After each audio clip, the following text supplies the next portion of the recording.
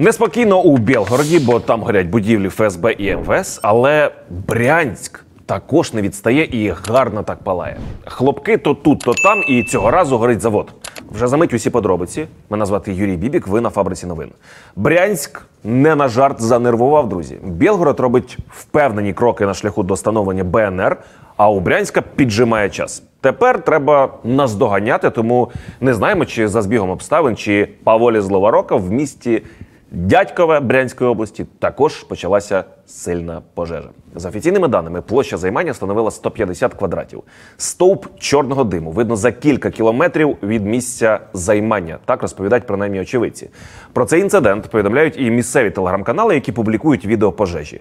За їхніми даними, горить склад одного із заводів. На місці працює багато одиниць техніки екстрених служб. До самого Брянська з місця пожежі близько 30 кілометрів. Пише телеграм-канал Маш. Процитуємо. По нашим данным, пожар начался в 8.28. На место выехали 5 пожарных расчетов. Открытое горение ликвидировали в 9.13. Сейчас заливають дальше. Кінець цитати. Спочатку було незрозуміло, що саме горить на складах Брянщини. Були варіанти із тим, що насправді палає кришталевий завод. Нібито горіло нове виробничо-складське приміщення підприємства ТОВ Олександр, яке готували до відкриття. За деякими даними, це підприємство належить москвічам. Але потім з'явилася інформація, що горить склад на підприємстві, яке робить оптику для Міноборони Росії. От такі справи. Тепер зрозуміло, звідки ростуть ноги у наступної новини із цієї ж області.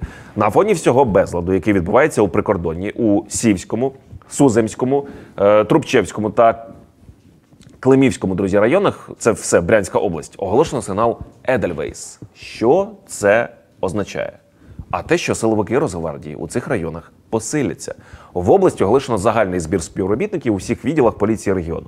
Напередодні аналогічний план було оголошено і у Білгородській області, як ми знаємо. Зранку губернатор області Богомаз повідомив про якісь незрозумілі обстріли району. Процитуємо. Сьогодні утром ВСУ обстріляли село Курковичи Стародубского муниципального округа. Пострадавших нет. В результате обстрела произошло возгорание двух домовладений. Повреждена хозяйственная постройка. Кінець цитати. Давайте нагадаємо, що українська сторона не підтверджує обстріли російської території.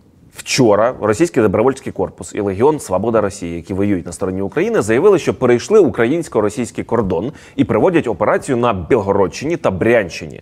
Як доказ перебування на території Росії, добровольці публікували низку відео. Судячи з відео, бійці зайшли не тільки на територію Білгородської області, але і погуляли у Брянську. У доказ в корпусі зняли коментар біля села. Чуровичі, це на Брянщині. Ми пильно стежитимемо за усіма подіями, що розгортаються на захоплених територіях Росії. А ви, друзі, лишайте свої коментарі, залишайте лайки під цим відео і лайкайте вірніше це відео, а також підписуйтесь на фабрику новин, аби не пропустити нічого нового. Побачимось.